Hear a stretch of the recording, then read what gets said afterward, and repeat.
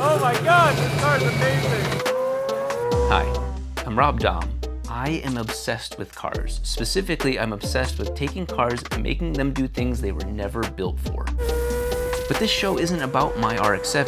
It's about what people across America are doing to tune their cars. My hope is that I can find out not just the how, but also the why of some of this country's greatest builds.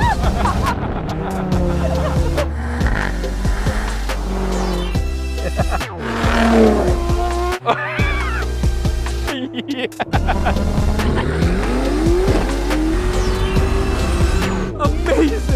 You might want to edit that out. We got a little. Yeah, yeah. I want to be inspired and hopefully inspire everyone watching to go out and do something special with their car or truck or scooter or whatever. This is American Tuned.